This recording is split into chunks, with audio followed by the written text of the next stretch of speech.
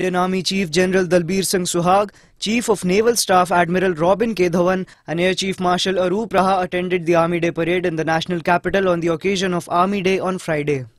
Army Day, which is being observed today, was the day when Lieutenant General K.M. Cariappa became the first Indian Commander-in-Chief of the Indian Army post-independence in 1949. This day inspires the troops to continue to enrich the glorious traditions of the Indian Army with their dedication and sacrifice.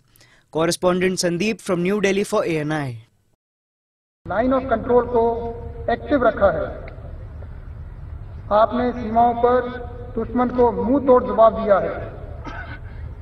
Borders पर और difficult areas में आपकी बेहतर निगरानी की वजह से घुसपैठ में बहुत कमी आई है।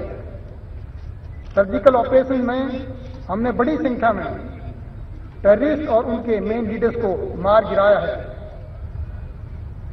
कुछ को पकड़ा है और भारी मात्रा में हथियार, व गोला बारूद भी बरामद किए हैं।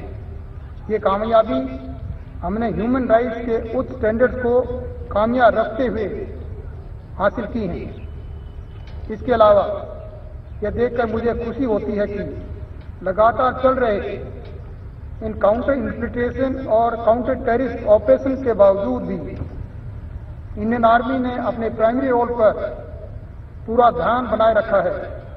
हम हमेशा देश के सामने आने वाली हर चुनौती से निपटने के लिए पूर्ण रूप से तैयार हैं। ये high standard of operation readiness training और कभी हार में मानने वाला जज्बा के कारण संभव हुआ है। यूनाइटेड नेशन मिशन में आपके योगदान का विशेष उल्लेख किया जाना उचित है। आज लगभग सात हज़ार भारतीय सैनिक यूनाइटेड नेशन के आठ मिशन में दुनिया के मुश्किल इलाकों में डिप्लॉयड हैं। सेना की उच्च परंपराओं को निभाते हुए 150 सैनिकों ने इन मिशन में अपने प्राणों की आहुतियाँ दी हैं।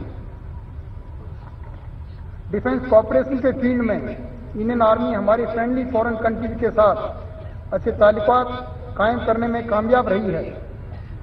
हमारे प्रोफेशनल ट्रेनिंग इंस्टीट्यूट मित्र देशों से आए ऑफिसर्स और जवानों को ट्रेन कर रहे हैं। इंडियन मिलिट्री ट्रेनिंग टीम इस समय 10 देशों में डिप्लॉयड है। ज्वाइंट ट्रेनिंग एक्सरसाइजेज और विश्व के प्रमुख सेनाओं के साथ आर्मी टू आर्मी एक्सचेंजेज को भी फॉर्मलाइज किया गया है और इनका आयोजन नियमित रूप से किया जा रहा है। यह सब एक अच्छी प्रोफेशनल आर्मी काबिलियत को दर्शाता है। जो देश के हित में हर समय, हर टास्क पूरा करने के लिए पूरी तरह सक्षम है। इस अलग अलग तरीके की चैलेंजेस और कमिटमेंट को पूरा करने के लिए हमें अपने वेपन्स और इक्विपमेंट को मॉडर्नाइज